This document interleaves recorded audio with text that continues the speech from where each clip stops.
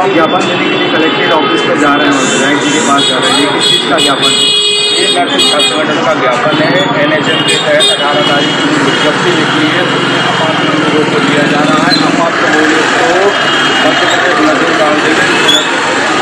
council registered कराती है nursing वालों के लिए, जो पात्र कहलाता है। लेकिन इस बार एन एच ने जो विज्ञप्ति निकाली है, उसमें अपात्र लोगों को लिया जा रहा है। ये सरासर अन्याय। अब हमें आप बताइए अपात्र लोग जिनका रजिस्ट्रेशन नहीं है, वो जाकर ट्रीटमेंट करेंगे तो स्वास्थ्य विभाग के साथ खिलवाड़ होगा सबसे बड़ा मुद्दा है मध्य प्रदेश का। लेकिन लोग राजनीति कर रहे हैं, हर एक लोग लोग कोरोना योद्धाओं पर देखने के लिए, दिखाने के लिए सम्मान दे रहे हैं, लेकिन हमारी बात नहीं पहुँचा रहे मिशन संचालक जी।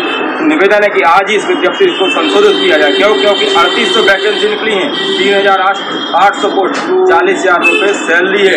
कल कलेक्टर जी के माध्यम से हम लोगों ने ज्ञापन दिया उन्होंने आश्वासन दिया कि आज के आज में भर्ती संशोधित होगी, लेकिन आज अभी भर्ती संशोधित नहीं हुई हर ज़िले ज़िले में हमारे पदाधिकारी, हर ज़िले से ज्ञापन दे रहे हैं, लेकिन हम लोग चाहते हैं, हम लोग क्या करें?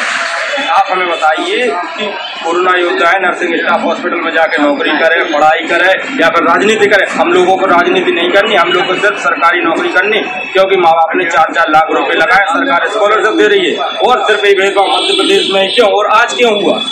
अभी पिछले छह महीने में जो विज्ञप्ति निकली थी, उसमें सभी को लिया गया था, है ना? लेकिन अब क्यों नहीं लिया जा रहा? श्रीमान जी निवेदन है, स्वास्थ्य मिशन संचालक मैडम से और मुख्यमंत्री महोदय से हमारा निवेदन है। और उपचुनाव नज़दीक आ रहे हैं। हमारा परिवार जितने साथी हैं यहाँ पे, सबका परिवार है। उपचुनाव में आप रिज़ल्ट देख लेना।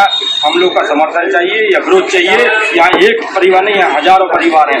और लाखों कैंडिडेट हैं। हज़ारों रुपए के फॉर्म भरे जा रहे हैं। लेकिन कहाँ का न्याय मिल रहा है? ये आप देख। लो कल एस डी एम महोदय की यहाँ पे दिया था एक बच्चा।